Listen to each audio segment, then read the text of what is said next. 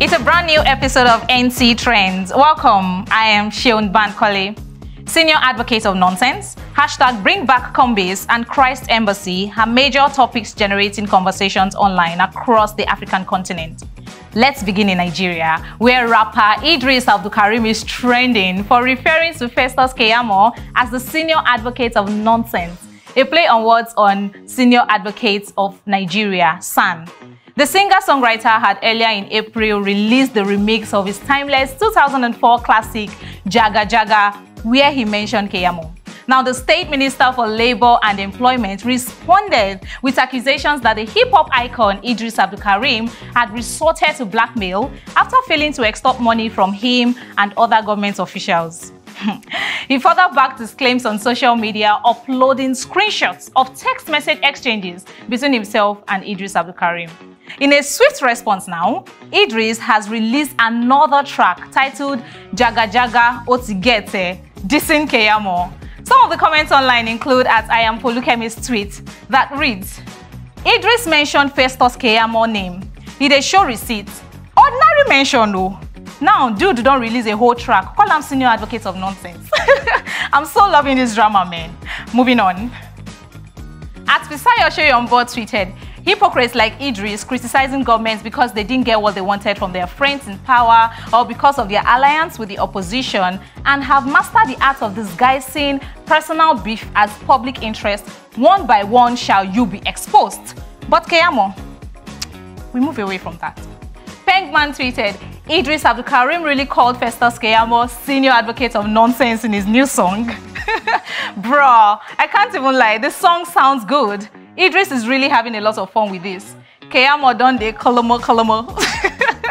Alright, that's that on senior advocates of nonsense. Moving swiftly away from that, Zimbabweans are calling for the return of passenger buses called Kombis, which was banned last year when the lockdown started. MDC Alliance President Nelson Chamisa said the government should lift the ban on Kombi operators arguing that the Zimbabwe United Passenger Company Zupco monopoly is not only illegal but has rendered thousands of Zimbabwean youths jobless after they were forced to pack their Kombis. Using the hashtag BringBackKombis, Bongo expressed agreements with the MDC Alliance president.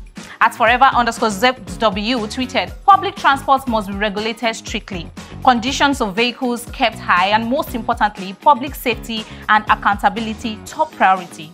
Kombis endanger lives daily. Hits and runs are normal for them. They rank wherever, whenever. No order, just chaos. Good move by the governor.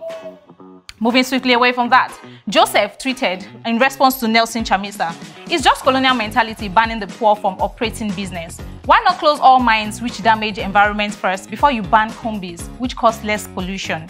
Finally, on Bring Back Kombis, at Fanny Map Fumo tweeted, the regulator cannot be a player as well. In banning private transport, government is trying to monopolize the transport sector. Lastly, we'll take a trip to Ghana where the police have served an investigation notice into the alleged breach of COVID-19 protocols at Christ Embassy Youth Church's pneumatic night. Videos and images from the event, which held last Friday, have surfaced online and it got many Ghanaians talking. We'll start with this tweet from at I am Sleep, who says, Good, after this, let's arrest all the politicians for their rallies as well, no exceptions. At Travel with Co also tweeted, for the police to have any case in this matter, they should give us an answer to this question. The crowd that was gathered at Christ Embassy for the service on Friday night, how different was it from the crowd we saw during our political rallies over the December elections? Hmm. Finally on that, Ranjit tweeted, please arrest all of them and teach them a lesson. Because of this, someone's innocent grandmother in the village will catch COVID and die. You can still join the conversation. Tweet at News Central TV using any of the hashtags and let's know your thoughts. There you have it on this episode of NC Trends. Back to Sulai with the news.